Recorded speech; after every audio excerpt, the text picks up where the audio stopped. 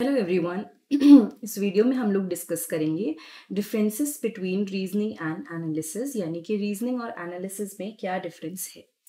तो सबसे पहले तो रीजनिंग समझते हैं रीजनिंग क्या होता है एनालिसिस क्या होता है ठीक है? ये नॉलेज एंड करिकुलम में पढ़ाया जाता है डिफरेंस जो होता है इसका। Now, reasoning is focused on uh, making logical deductions and drawing conclusion based on available information or evidence. तो suppose आपके पास कोई इंफॉर्मेशन है ठीक है? या कोई आपके पास रॉ डाटा है ठीक है? अब आपने क्या किया? इस इंफॉर्मेशन या डाटा से कुछ मतलब निकाला, क्या निकाला? कोई कंक्लूजन या कोई मीनिंग आपने निकाला, ठीक है? तो जो आपके पास इंफॉर्मेशन थी, उससे आपने कोई कंक्लूजन निकाला। So this is your reasoning ठीक है? ये आपकी रीजनिंग है।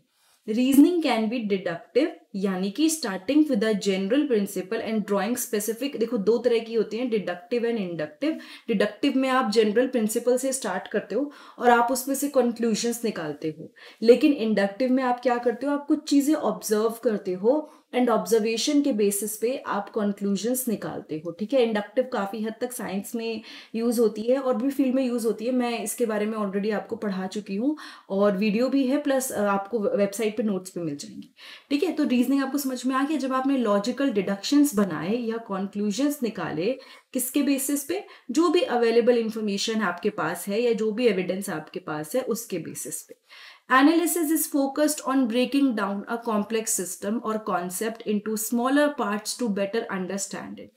Analysis में क्या होता है? एक कॉम्प्लेक्स चीज़ है कोई। ठीक है? There is something complex system और कॉन्सेप्ट आपने क्या किया? उसको स्मॉलर पार्ट्स में कन्वर्ट कर दिया। छोटे छोटे पार्ट्स में कन्वर्ट कर दिया ताकि आप उसको आराम से समझ सको। It involve examining the parts of a whole to see how they relate to each other and to larger system तो कॉम्प्लेक्स को आपने स्मॉलर पार्ट में यू नो बांट दिया। एक बड़ी सी चीज़ थी, आपने स्मॉलर पार्ट में बांट दी।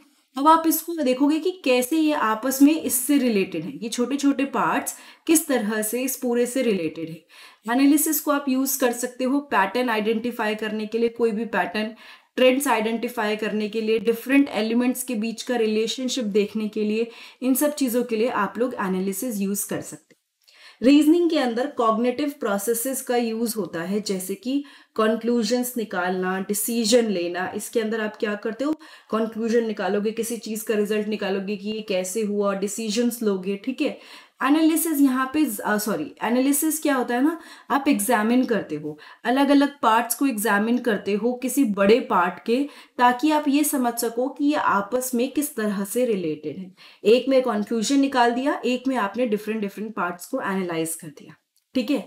रीजनिंग इज़ मोर डिडक्टिव और इंडक्टिव रीजनिंग डिडक्टिव होती है इंडक्टिव होती है, ऊपर समझाया what is the meaning of deductive and inductive analysis descriptive होता है या एक्सप्लेनेटरी होता है? यहाँ पे कंक्लूजन्स नहीं निकालते हो एक्सप्लेनेशन देते हो या समझते हो कि कैसे कोई दो चीज़ें रिलेटेड हैं एक बड़ी चीज़ से। ठीक है? तो अगेन जो रीजनिंग का पर्पज है, वो यहाँ पर है कंक्लूजन्स निकालना या डिसीजंस लेना। और इसका पर्पस जो है एनालिसिस का वो ये है कि आप कॉम्प्लेक्स सिस्टम को समझ पाओ कॉन्सेप्ट्स को समझ पाओ। रीजनिंग एक स्पेसिफिक कंक्लूजन या डिसीज़न निकालती है on the basis of available information analysis help करता है कॉम्प्लेक्स सिस्टम के अलग अलग कंपोनेंट्स को स्टडी करने में। तो मेन एक ही चीज़ है जिसको बार बार अलग तरह से लिखा गया है but you have to understand that this is the major difference between reasoning and analysis ठीक है? मैंने इससे पहले जो इन्फॉर्मेशन एंड नॉलेज का डिफरेंस है, उस पर वीडियो बनाई है बिलीफ एंड ट्रुथ पे भी बनाई हुई है। आपको सारी चीज़ें प्लेलिस्ट पे मिल जाएँगी नोट्स आपको मेरी वेबसाइट पे मिल जाएँगे। प्रेप विद हर्षिता है, या तो डिस्क्रिप्शन बॉक्स में चेक कर लीजिए, या गूगल पर डायरेक्ट सर्च करिए, आपको सारे नोट्स वहाँ पर मिलेंगे मेरी वेबसाइट पे। प्लेलिस्ट में आप और वीडियोस देख सकते हैं बी एड एम एड और एग्ज़ाम से रिलेटेड चैनल को सब्सक्राइब करना बिल्कुल मत भूलिएगा and do not forget to join Telegram to get latest update. Thank you so much. I'll see you next time in the next video.